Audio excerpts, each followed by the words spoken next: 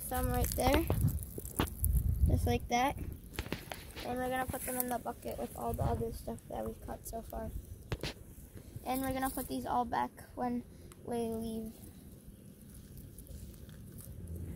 So yeah, that's our way for today for you guys. Until then, I'll see y'all later.